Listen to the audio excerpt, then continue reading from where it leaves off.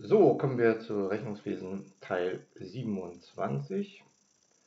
Wir waren hier stehen geblieben bei dieser Aufgabe Earned Value Analyse und ich hatte es betont, es geht mir natürlich auch darum, das Ganze zu interpretieren. Das sind hier insbesondere diese Fragen 4, 5 und 6, denn ähm, das einfache Ausrechnen, denke ich mal, ist jetzt nicht die große Herausforderung. Also wir haben die Aufgabenstellung, wir haben 24 Monate, wir befinden uns im 21. Monat. Die Aufgabenstellung besagt, dass eine Projektverlängerung ausgeschlossen ist, also einfach eine Zeitverlängerung ist nicht möglich. Da stellt sich dann natürlich zuerst die Frage, wie hoch ist der Fertigstellungsgrad im 21. Monat. Wir haben also in Summe 24 Monate 345.000 Euro und im ist laufen wir uns schon auf 288.000 Euro und unser Fertigstellungsgrad sollte dann natürlich bei 345 oder ist dann im Ist bei 345.000 Euro multipliziert mit den 60 Prozent im 21. Monat macht 207.000 Euro. Wie hoch ist dann die Planabweichung? Das ist, glaube ich, auch relativ einfach nachzuvollziehen. Wir haben die 207.000 und gucken uns an, wo wir stehen müssten im 21. Monat. Und das ist natürlich die 301.875 relativ einfach auch wieder ausgerechnet, nämlich ähm, die 345.000 durch 24 Monate multipliziert mit 21 Monaten, dann kommt man hier auf diese 301.875 und wir sehen, dass wir schon eine deutliche Abweichung haben. Man kann es eigentlich aus der Aufgabenstellung auch schon ein Stück weit herauslesen, dass das Projekt hier wenn wir nur schon im 21. Monat sind, wo nicht so richtig auf Linie bzw. auf dem geplanten Status ist, das lässt sich eigentlich aus den Zahlen ähm, auch ohne Ausrechnen schon erkennen. So, wie hoch ist die Differenz zwischen dem Fertigstellungswert und den Ist-Kosten? Das ist dann auch einfach ausgerechnet, nämlich die 207.000 minus der 288, die schon angefallen sind, haben wir also auch ein Minus von 81 ähm, 1000 Euro. Also Planabweichung hoch, dann haben wir äh, die Abweichung zu den Ist-Kosten ziemlich hoch. Und jetzt ist die Frage eben, wodurch kann das bei der Nummer 4 zustande gekommen sein? Na, da kann es alles Mögliche natürlich zustande gekommen sein. Da könnten sich jetzt einige Sachen raussuchen oder sich überlegen. Natürlich kann diese Differenz ähm, allein durch Preiserhöhungen vielleicht zustande gekommen sein, wenn irgendwas äh, ja, deutlich teurer geworden ist. Dann kann es sein natürlich auch, dass wir einen viel höheren Ressourceneinsatz benötigt haben, als wir ursprünglich geplant haben und dass dadurch die Abweichung beispielsweise zustande gekommen ist. Als nächstes können wir beispielsweise Ressourcen verschwendet haben, also wenn wir beispielsweise ja, vielleicht auch ähm, Personal eingestellt haben, externes Personal, was einfach langsamer arbeitet als geplant, also Verschwendung von Ressourcen und so weiter. Also Sie können hier natürlich bei der Frage 4, könnten das sehr unterschiedliche Dinge sein. Wichtig ist dabei zu erkennen, was könnte es denn sein? Und ähm, hier ist ja auch in der Aufgabenstellung nicht mehr gesagt, deswegen kann man hier auch nur verschiedene Vermutungen anstellen. Wichtig ist eben, dass man versteht, woran es denn liegen könnte. Da schließt sich auch gleich die Frage 5 dran an, ist zu erwarten, dass das Projekt noch zum Erfolg geführt werden kann, begründen Sie Ihre Entscheidung. Nein, das Projekt kann sehr wahrscheinlich nicht zum Erfolg geführt werden, denn wir befinden uns im 21. Monat. Eine Projektverlängerung ist ausgeschlossen, das heißt, wir haben noch drei Monate Zeit, um alles aufzuholen. Und wenn Sie sich nun mal so die Prozentwerte auch anschauen, wie hoch die Abweichungen sind, können wir das mit äh, den letzten drei Monaten mit Sicherheit nicht schaffen.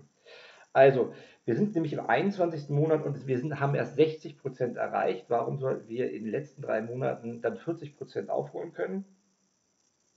Wir haben auch im Ist schon viel mehr ausgegeben, als ursprünglich geplant gewesen ist. Das sieht man ja hier an der Fragestellung der 288. Auch das ist natürlich ein klarer Indikator davor, ja, darauf, dass man das nicht einfach so mal wieder aufholen kann. Und ähm, nach dem, was alles bisher gelaufen ist, ist natürlich daher nicht zu erwarten, dass wir in den letzten drei Monaten nach aktuellem Projektstand das Ganze in irgendeiner Form aufholen können. Es sind in der Vergangenheit so viele Fehler gemacht worden. Warum sollten wir jetzt hier bei diesen eindeutigen Zahlen überhaupt äh, in der Lage sein, das aufzuholen? Sehr unwahrscheinlich. Nummer 6 haben das Projektmanagement bzw. das Projektcontrolling im vorliegenden Fall versagt. Begründen Sie Ihre Entscheidung? Offensichtlich ja. Also die haben offensichtlich versagt. Ähm, das Projekt kann ja eigentlich nicht mehr zum Erfolg geführt werden, wie ich das in Ziffer 5 schon ausgedrückt habe.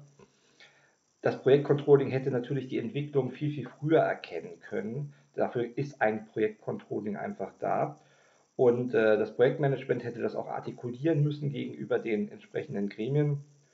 Und äh, dann hätten Richtungsentscheidungen im Sinne genau des Kerns von Controlling ausgesprochen werden können, sollen, müssen vom Projektcontrolling und vom Projektmanagement an die entsprechenden Gremien, die man typischerweise bei Projektvorhaben kennt, wie so ein Lenkungsausschuss beispielsweise. Falls jetzt, aber das ist auch sehr hypothetisch, geht aus der Aufgabenstellung nicht hervor, also wenn das Projektcontrolling jetzt äh, informiert hat, die Gremien, dann ist natürlich dann die Gremien schuld und nicht mehr das Projektcontrolling. Aber ich denke mal zusammenfassend, man kann hier sehr gut erkennen, was man aus diesen Zahlen herauslesen kann. Und das basiert ja auch auf dem, was wir in dem Teil internes Rechnungswesens teilweise schon besprochen haben, nämlich was sind Plankosten, Sollkosten und so weiter. Und man erkennt auch, dass man hier mit relativ einfachen Instrumenten wirkliches ähm, Controlling eben durchführen kann und äh, Sie ja auch höchstwahrscheinlich in Ihrer späteren Berufstätigkeit viel mit oder an Projekten arbeiten. Und deswegen sollte man eben diese Earned Value Analyse grundsätzlich verstanden haben und kann hieraus eben sehr gute Rückschlüsse für das Controlling ziehen. Das zu dieser Aufgabe. Gehen wir mal einen Schritt weiter. Wir haben am Anfang dieses Teils der Vorlesungsreihe ja über ähm, Controlling gesprochen und da ging es ja um ähm, originäre Bestandteile des Controllings und dann um die abgeleiteten. Und hier wird es jetzt konkreter. Was äh, haben wir wirklich als Werkzeugkasten zur Verfügung? Hier erstmal nur für das Controlling allgemein. Wir kommen dann nochmal spezieller drauf, wenn wir über IT-Controlling sprechen. Also Kostenrechnung haben wir zum einen eben, achso, Entschuldigung, hier unten, wir haben natürlich Basissysteme äh, wie die Buchhaltung. Das wissen wir, das haben wir schon gesehen, auch in unserem Teil der Vorlesung. Wir haben so etwas wie Zeiterfassung. In vielen Organisationen ähm, müssen die Mitarbeiter ihre Zeiten erfassen. Damit ist nicht gemeint, dass man eine Steckkarte irgendwo reinsteckt und ähm, damit Gleitzeiten erfasst werden, sondern Zeiterfassung im Sinne von Erfassung von Arbeitszeiten auf inhaltlichen Objekten. Wir sehen das im weiteren Verlauf der Vorlesung auch noch, was das bedeutet. Betriebsdaten können solche ähm, Daten ähm, sein, also beispielsweise äh, Produktionsdaten könnte das sein. Dann hat man die Materialbuchhaltung oder Lagerbuchhaltung, also auch der Einsatz von Ressourcen und so weiter. Also wir haben in einem Unternehmen zahlreichste, zahlreichste Möglichkeiten, hier Daten zu sammeln. Und wenn Sie die aktuelle Diskussion in Corona-Zeiten beispielsweise auch mit aufgreifen wollen, da sehen wir eben, dass jetzt äh, überlegt wird oder Arbeitgeber überlegen, ob man ähm, die Homeoffice-Aktivitäten der Mitarbeiter nicht irgendwie tracken oder überwachen kann, um zu sehen, dass sie auch tatsächlich arbeiten. Das ist natürlich jetzt datenschutzrechtlich eine große Fragestellung und die Betriebsräte werden oder wehren sich schon dagegen. Aber äh, Botschaft ist, wir haben ohne Ende Basisdaten, die wir natürlich für das Controlling heranziehen, heranziehen müssen, wollen, weil das eben ein ganz, ganz wichtiger ähm, Datensatz dafür ist, wie man eben Steuerungsempfehlungen aus diesen Daten eben auch ableiten kann. So, was haben wir in der Kostenrechnung? Ein Großteil davon kennen wir, weil das haben wir natürlich schon äh, behandelt. Kostenarten, Kostenstellen, Kostenträger dürfen Sie, wie gesagt, nie wieder vergessen. Kostenarten, welche Kosten? Kostenstellen, wo, Kostenträger, wofür? Dann haben wir das ganze Thema Deckungsbeitragsrechnung. Auch das haben wir uns schon angeschaut. Und am Ende des Teils der Kostenrechnungsvorlesungsteil, wenn ich es mal so nennen darf, waren wir bei Ist-, Soll- und Plankosten. Im Weiteren kann man natürlich auch Prozesskosten ermitteln, also wirklich bezogen auf einzelne Prozesse, Arbeitsabläufe in einer Organisation. Das Ganze ist ziemlich aufwendig, wie Sie sich vorstellen können. Denn wenn Sie an einen Geschäftsverfall aus der Buchhaltung denken, der wird ja auf einer Kostenart erfasst. Also nehmen wir mal ein Beispiel und sagen, ähm, wir schalten einen Anwalt ein, weil wir uns mit einem Mitarbeiter streiten. Nehmen wir mal so einen ganz einfachen, profanen Fall. dann erfassen wir das in der Kostenartenrechnung beziehungsweise in der Buchhaltung über irgendein Kostenart- und Buchhaltungskonto, was da vielleicht gutachterliche Stellungnahmen oder, oder anwaltliche Beratung ähm, firmieren würde, so würde ich es mal ausdrücken. Und wer der Buchhaltungsteil gut aufgepasst hat, der weiß, dass wir das dann hinterher als Aufwand in die G&V übernehmen. So, aber das hat ja jetzt nichts mit einem Geschäftsprozess im Unternehmen zu tun. Wie kriegen wir denn diese Gutachterkosten irgendwo auf einen Teilprozess unseres Geschäftsbetriebes? Äußerst schwierig sicherlich, genauso wenn Sie über Material, Materialeinsatz nachdenken und so weiter. Deswegen ist Prozesskostenrechnung zwar für die Überwachung, bei, gerade bei Produktionsprozessen, ganz, ganz, ganz hilfreich, aber eben ganz, ganz schwierig zu konzipieren, einzuführen, umzusetzen, zu administrieren und auch ähm, dann sicherzustellen, dass die richtigen Daten da rauskommen, um auch wirklich einen Nutzen zu stiften. So, das zweite sind eben ähm, die Projektkosten, über die haben wir gerade auch schon gesprochen, mit der Earned Value Analyse beispielsweise. Auch da wird meistens dann ein, ein Kostenträger angelegt, der da eben ein Projekt darstellt mit seinen besonderen Eigenschaften, um Projektkosten nämlich tatsächlich auch überwachen zu können. In Bereichen, in denen ich natürlich Forschung und Entwicklung habe, sind diese Überwachung der Projektkosten natürlich existenziell. Also wenn Sie jetzt beispielsweise daran denken, nehmen wir wieder die Pandemie, passt gerade so gut, wenn so ein Pharmakonzern jetzt ein Medikament entwickelt beispielsweise, dann muss ich natürlich ein Objekt haben, um die Projektkosten dieses äh, Projektes äh, Medikament Covid-19 zu überwachen, um dann daraus beispielsweise abzuleiten, also alle Ressourcen, die reingeflossen sind, über ein BRB mit Sicherheit auch die Gemeinkosten auf, das, äh, auf die Projektkosten draufgeschlagen sozusagen, um dann letztendlich auch ähm, die Preisuntergrenze ermitteln zu können. Und da sind wir wieder beim Break-Even-Point welchen Preis muss ich nehmen, damit wir zumindest diese Projektkosten für dieses neue Medikament beispielsweise ähm, ja, erstattet bekommen. Ne? Und äh, da ist natürlich auch, wenn Sie auch die Presse jetzt gerade ähm, verfolgen, geht es ja auch darum, dass man beispielsweise, ähm, ich sag mal, Regionen äh, auf der Welt, die sich vielleicht das nicht so leisten können, dann eben auch subventionierte Preise anbietet.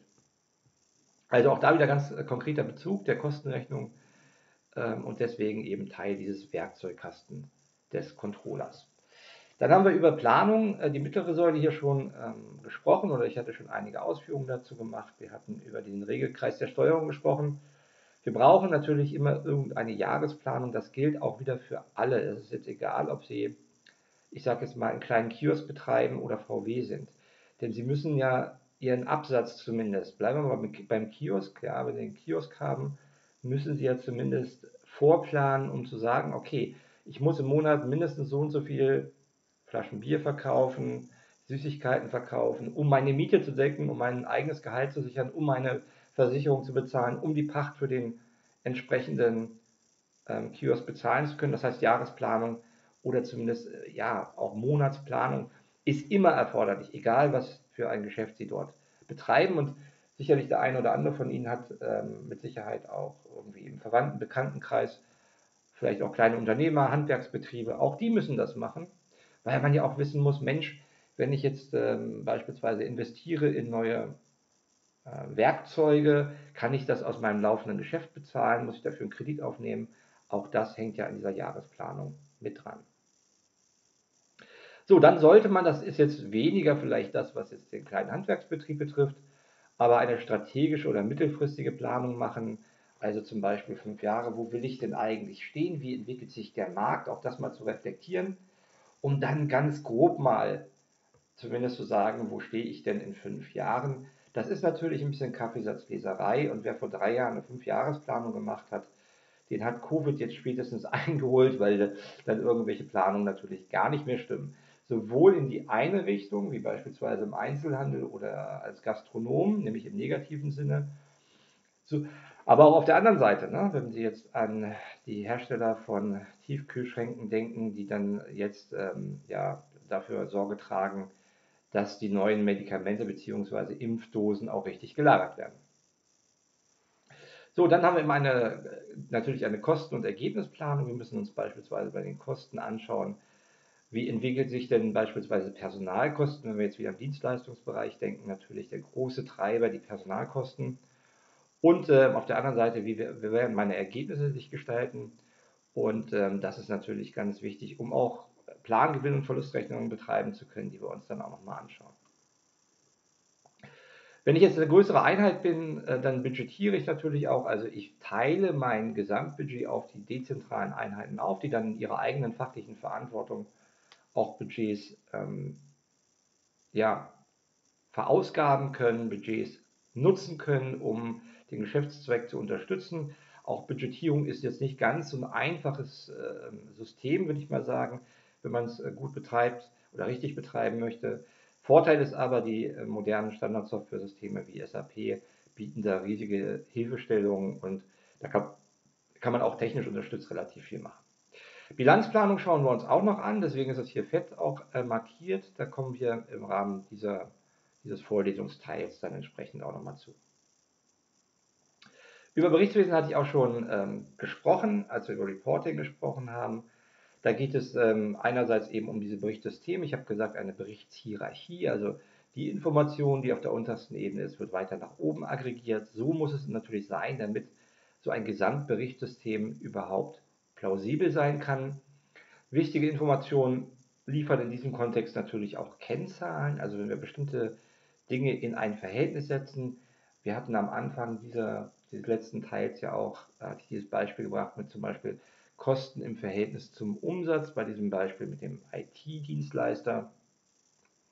Und neben unserer ähm, Standardhierarchie gibt es auch Ausnahmeberichte, die sollten natürlich auf Ausnahmen, so ist der Name eben auch ähm, begrenzt sein. Und gerade jetzt in Covid-Zeiten können Sie sich vorstellen, dass es viele Ausnahmeberichte gibt, weil man nämlich ähm, sich bestimmte Sachverhalte jetzt einfach mal besonders analysieren muss, die sonst in einem normalen Geschäftsbetrieb, bei einer normalen Entwicklung der Gesellschaft so nicht im Fokus gestanden haben. Ein gro ganz großes Themengebiet ist bei Controlling, ist das Thema Wirtschaftlichkeit. Sie haben dazu, ähm, oder jedenfalls ein Teil von Ihnen im Bereich der Finanzierung und so, auch so ein paar Grundlagen. Da geht es ähm, insbesondere um die Ka Kapitalwertermittlung. Es geht um Am Amortisationsrechnung, also wann ähm, hat sich eine Investition wieder reingespielt sozusagen. Es gibt äh, eher qualitative Methoden sowie eine Nutzwertanalyse, also diese weniger eben über Kapitalwert getrieben, sondern durch qualitative Aspekte.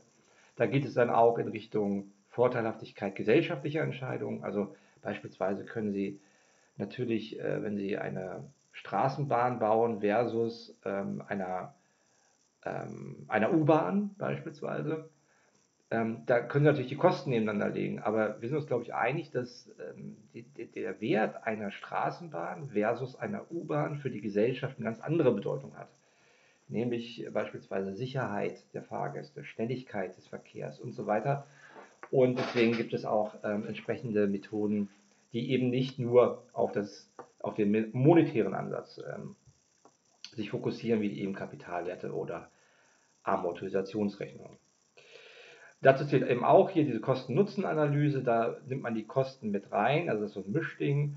Und was es in der, sage ich mal, in der IT gibt, gibt es eigene Wirtschaftlichkeitsbetrachtungen für spezifische IT-Vorhaben, was natürlich durch die Digitalisierung in den letzten Jahren an massiver Bedeutung gewonnen hat, um eben herauszufinden, lohnt sich eine Investition ähm, im, im Sinne ja, der Digitalisierung oder der Informationstechnologie und oder im Vergleich zu anderen Investitionen? Das ist auch die große Frage dabei. Also, das gehört so ganz grob alles dazu, was der Controller so, ich sag mal, in der Hand hat. Wir kommen dann nochmal beim Thema IT-Controlling nochmal eine Ebene tiefer sozusagen. Wichtig ist zu verstehen, immer, dass natürlich der Geschäftszweck das langfristige Controlling-Interesse bestimmt, definiert. Und wenn ich jetzt in einer normalen Vorlesung mit Ihnen sitzen würde, dann ähm, ist es auch so, dass äh, ich jetzt einfach mal fragen würde, womit verdient denn eigentlich Facebook sein Geld? Und da sind wir uns, glaube ich, einig, Facebook verdient sein Geld mit Werbung.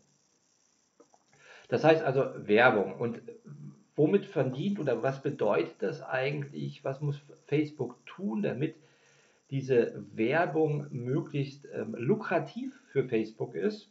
Und ich glaube, da sind wir uns auch eindeutig.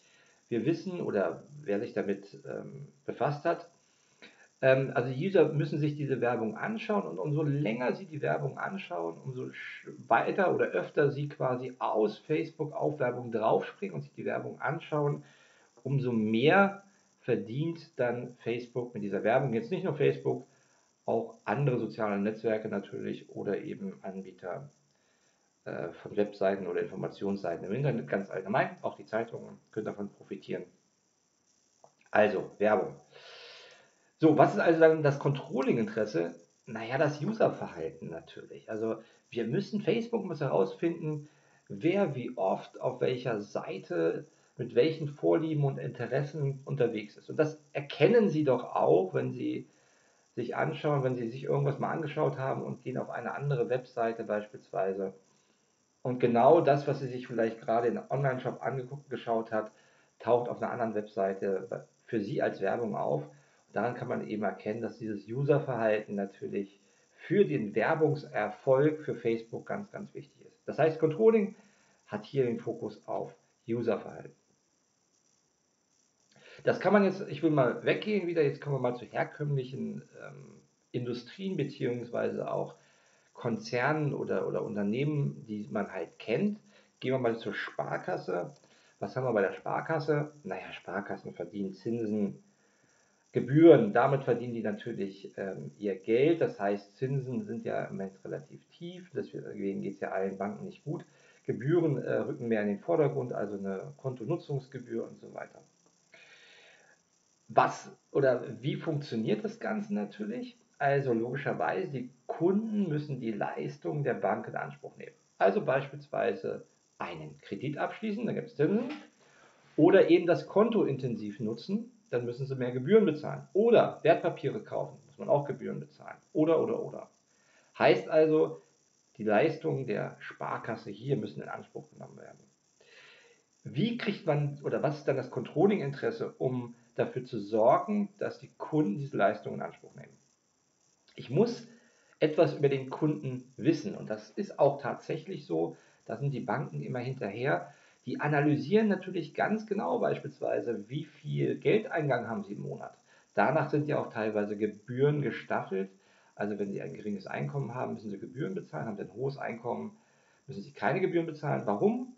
Weil natürlich hohes Einkommen auf dem Konto für die Bank mal von Nutzen ist, weil eher dann Sie vielleicht auch mal einen Kredit aufnehmen können oder eben Wertpapiere kaufen, wo wieder Gebühren entstehen. Das heißt also, Kundenverhalten, ne? wie viel Geld geht ein, von welchen, ähm, ja, ja wie, wie viel geht da ein, ähm, wie oft sprechen Sie mit Ihrem Bankberater, was interessiert Sie, ganz wichtig hier, um was verkaufen zu können.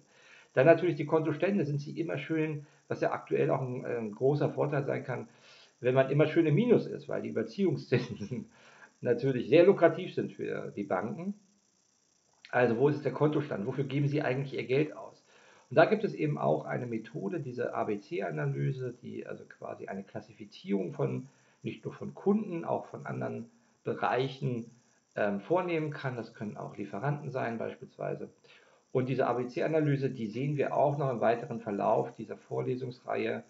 Die ist auch relativ einfach, relativ bekannt. Ich denke, die eine oder andere von Ihnen wird das auch schon mal gesehen oder gehört haben. Gehen wir weiter zu VW. Na, womit verdient äh, VW Geld? Natürlich mit Autos. Ähm, und wie? Naja, am besten natürlich mit Kauf und Wartung und das Ganze natürlich möglichst hochpreisig. Das heißt also, ein Interesse muss immer darin bestehen, möglichst hochpreisig zu verkaufen. Und was wir auch wissen, ist eben dieses Thema Wartung spielt eine große Rolle. Die ganzen Autokonzerne sind in den letzten Jahren dazu übergegangen, dass es wenige freie Werkstätten gibt und man das alles bündelt entweder in große Ketten oder auch in eigene Betriebe sozusagen, um eben auch beim Wartungsgeschäft natürlich die eigenen Produkte verkaufen zu können und damit eben möglichst hochpreisig die Kundschaft zu bedienen. Deswegen ist auch bei Automobil ganz allgemein es immer wichtig, dass man möglichst enge und gute Kundenbindung natürlich äh, betreibt, weil man ähm, Markenwechsel nicht so oft stattfinden und sind wir ehrlich, wer kauft sich jedes Jahr ein neues Auto? Das sind die wenigsten. Das heißt, die Bindung ist so wichtig. Die Bindung an die Marke oder auch im VW-Konzern eben die Bindung an den Konzern verbunden. Das heißt also, eigentlich kann es VW ja egal sein, als Gesamtkonzern, ob ich äh, einen Wagen bei Skoda kaufe, bei Audi kaufe, bei VW kaufe, bei Seat kaufe oder sonst wo. Hauptsache der Kunde ist bei mir. Deswegen ist auch manchmal die Markenpolitik darauf ausgerichtet, dass man beispielsweise jungen Leuten einen Einstieg schafft mit geringem Einkommen oder noch nicht so hohem Einkommen, beispielsweise über einen Seat oder einen Skoda. Und man sie, dann sie weiter begleitet, dann werden sie erfolgreich, wenn sie dann ihr Studium beendet haben und dann erfolgreich im Beruf starten, dann können sie vielleicht auch einen VW leisten oder ein Audi leisten. Ne? Oder eben auch die Lebenssituation verändert sich, nämlich dahingehend, dass sie vielleicht Kinder bekommen, ein größeres Auto brauchen und so weiter und so weiter. Also ganz klar Kundeninformationen, Kundenzufriedenheit. Ähm, es gibt deswegen, gerade wenn Sie mal Ihr Auto in die Werkstatt gebracht haben, ganz oft eben Befragungen und natürlich vermeintliche Goodies. Man, man lädt sie ein, sie kriegen Werbung nach Hause geschickt und so weiter. Also diese Kundeninformation, Kundenzufriedenheit sind bei äh, Automobilherstellern entscheidend, weil man eben nicht oft die Marke wechselt und eben über das weitere Zusatzgeschäft eben auch ähm, ganz viel entsprechend gemacht werden kann, beziehungsweise ähm, ja, erfolgreich langfristige Kundenbeziehungen aufgebaut werden können. So ist eigentlich der richtige Ausdruck. Also man sieht immer, Geschäftszweck bestimmt das langfristige Controlling-Interesse. Und äh, das zieht sich natürlich durch. Wenn, nehmen wir mal jetzt noch ein weiteres Beispiel hinzu, wenn Sie an eine Hochschule denken, jetzt denkt man, das kann ja hier gar nicht so dazu passen. Doch, die Hochschule verdient auch Geld mit, man soll es nicht glauben, mit der Anzahl der Studierenden, also geringe äh, Studierendenzahlen, geringe entsprechende ähm, finanzielle Mittel des Landes beispielsweise. Das bedeutet auch, wir müssen auf die Kundenzufriedenheit beispielsweise achten. Wir müssen erfolgreich die Studierenden in den ähm, Arbeitsmarkt integrieren. Und äh, daher, auch da kann man sofort das Controlling-Interesse ableiten. So, kommen wir zu dem Begriff ähm, Ergebnisrechnung. Da geht es mir jetzt darum, ähm, dass man weiß, was eine Ergebnisrechnung ist, weil das ist jetzt nicht ein Teilelement, also das können Sie sich auch wie folgt vorstellen, wenn Sie eben bei VW, sind wir gerade stehen geblieben, sich überlegen, äh, was treibt es mein Ergebnis, mein Betriebsergebnis, ähm, dann bedeutet das natürlich zum Beispiel das Produkt VW Golf. Und dann gibt es noch den VW Passat. Dann gibt es noch, was weiß ich alles, ein Tiguan. Also da haben wir zumal einmal schon mal die Dimension Fahrzeug. Eigentlich ist es dann Fahrzeugklasse, weil es wäre im Weiteren wieder wichtig zu wissen, was verdiene ich oder welches Betriebsergebnis, was es oben ist, ist ja hier schon dokumentiert.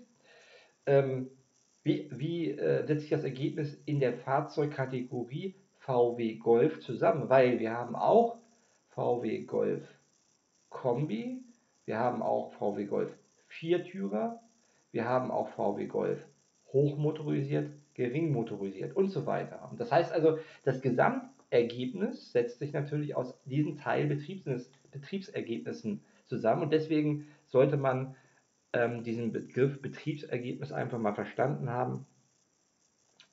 Und hier geht es natürlich im internen Rechnungswesen, das kennen wir aus den Vorlesungen, eben um Erträge minus Kosten. Da sind wir nämlich genau in der ähm, Kosten- und Leistungsrechnung. Und das haben wir ja auch behandelt. Hier haben wir beispielsweise theoretisch auch noch ähm, andere Werte, wenn wir an die kalkulatorische AFA beispielsweise denken, als im externen Rechnungswesen. Da haben wir nämlich nur die Aufwendung aus der Buchführung. Da hätten wir eben keine kalkulatorische AFA. Sie erinnern sich hoffentlich ganz dunkel, nämlich das Ergebnis sind dann Erlöse minus Aufwendung. Und dann haben wir das Ganze natürlich ähm, auch noch ähm, in unterschiedlichen, ich sag mal, Zeiteinheiten oder Zeitdimensionen. Typisch, ich hatte es gesagt, ist natürlich monatlich, quartalsweise, jährlich. Also wir müssen permanent gucken, wie gestaltet sich unser Betriebsergebnis. Und da haben wir in zwei Dimensionen äh, ein externes und ein internes. Das haben wir alles schon entsprechend in den letzten Wochen behandelt. So, und das Ganze ist natürlich immer ein ähm, Ergebnis äh, für ein bestimmtes Merkmal. Ich habe das gerade gesagt, das könnte jetzt äh, zum Beispiel der VW Golf sein, das könnte der Passat sein oder innerhalb ähm, dieser entsprechenden Klasse dann auch unterschiedliche Abstufungen. Und es könnten auch einzelne Produkte sein, es könnten gesamte Unternehmenssparten sein.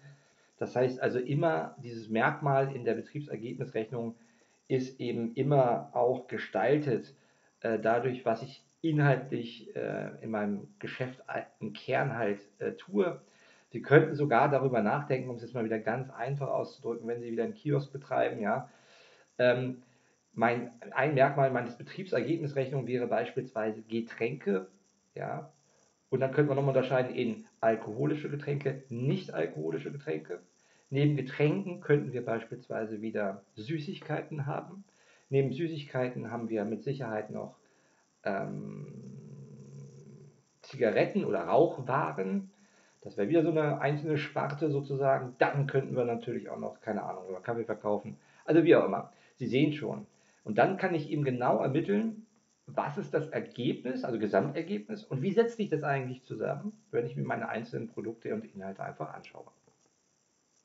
So, ähm, es gibt natürlich diese Ausprägung ähm, dieser Betriebsergebnisrechnung das können natürlich beispielsweise interne Organisationseinheiten sein, also die Produktion der Autos beispielsweise, oder eben auch externe äh, Marktsegmente, was beispielsweise bei VW interessant ist, ähm, der, das Marktsegment Nutzfahrzeuge in China versus Marktsegment Nutzfahrzeuge in Europa. Ja, auch das wäre wieder eine Ausprägung der Betriebsergebnisrechnung.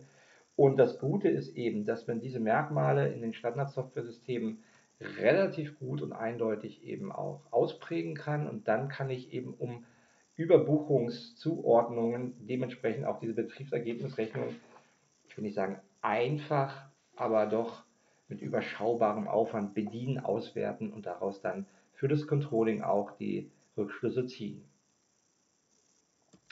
Gehen wir nochmal eine Ebene weiter ähm, dass man sich nochmal sehr gut vorstellen kann.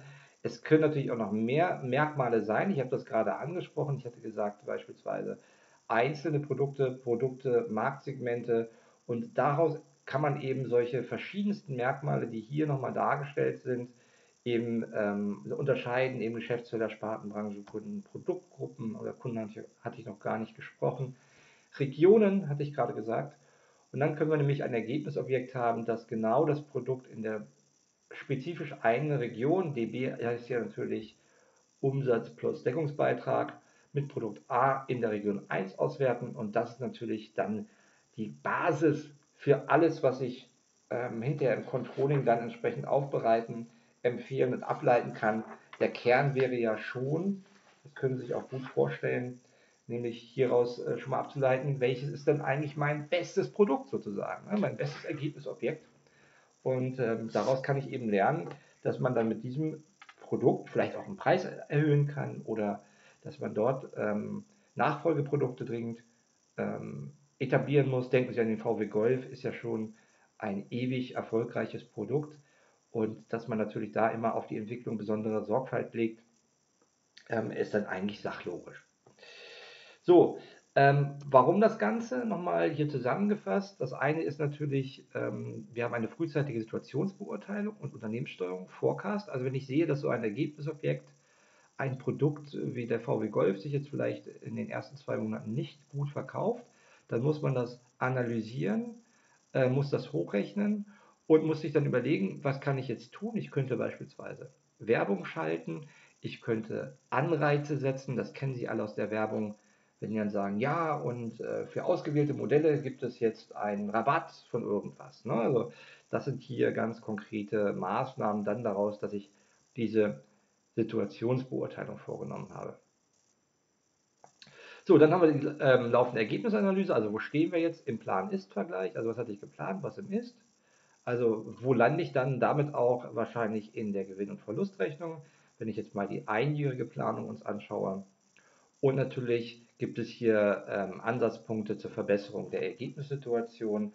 Also beispielsweise, wenn ich weiß, der VW Golf ähm, verkauft sich jetzt nicht so gut, vielleicht kann ich die Produktion zurückfahren, um oder ein Werk, äh, was ja oft gemacht wird, ist äh, beispielsweise, wenn ein Produkt nicht so gut läuft, dass man dann die Werksferien verlängert und damit ähm, sicherstellt, dass beispielsweise ähm, geringere Kosten anfallen und damit natürlich eine Verbesserung der Ergebnissituation tatsächlich auch eintritt. Warum erzähle ich Ihnen das Ganze? Ähm, ich habe hier mal eine Studie herausgenommen. Also zum einen sollte man eben wissen jetzt grundsätzlich, was eine äh, Ergebnisrechnung ist und jetzt mal ähm, hin zu dem, was im Controlling eigentlich gerade passiert. Und äh, dann ist das hier eine Studie aus dem Jahr 2018 ähm, und da wurde gefragt, welche Bedeutung einzelne Elemente, die sehen Sie hier diese Zukunftsthemen auf der linken Seite, über den Zeitablauf haben. Also 2011, 2014, 2017 ähm, und dann 2018 die Einschätzung bis 2022. Zum einen kann man hier unten sehr gut erkennen, Controller-Nachwuchs hat ähm, entsprechend zugenommen. Ja, also man sieht das hier auch im Bedeutungszuwachs. Das heißt, das ist für Sie auch eine sehr, sehr gute ähm, Markt- oder weiterhin eine, eine sehr komfortable Marktsituation. Und was man auch noch sehen kann, jetzt ganz allgemein gesprochen, hier Informationssysteme, also IT nimmt zu, Business Analytics, also das Auswerten, Interpretieren von Daten, ganz wichtig. Dann eben und das Thema eben Datenmanagement, also das, ähm, ja, ich habe gerade davon gesprochen, wie man auch Informationen aus den betrieblichen Systemen dort herausziehen kann. Diese Basissysteme habe ich angesprochen. Und da geht es eben um das Management der Daten, das Lernen aus diesen Daten und so weiter. Das heißt also, man sieht, dass sich Controlling entwickelt auch stärker in dieses, äh, ja, ich sag mal, analytische und weniger in das, ähm, ja, wie soll ich sagen, ja, weniger in dieses, sag ich mal, reine Zahlenfrickeln, aufbereiten, präsentieren. Und deswegen ist das Ganze natürlich auch sehr eng mit Wirtschaftsinformatik oder anderen Mathematik oder so verbunden, weil wir dann nämlich über ganz andere Kompetenzen sprechen. Das heißt, das, was Sie lernen, ist durchaus ähm, sehr gut geeignet, um sich auch im Controlling, wer dazu Interesse hat, sich breit zu machen beispielsweise. Und da gibt es eben ohne Ende ähm, Bedarfe, die man jetzt hier sich auch aus den Zahlen ableiten kann. Das nur mal als Hinweis. Genau, dann machen wir hier beim nächsten Mal weiter und bis dahin erstmal alles Gute. Ciao, ciao.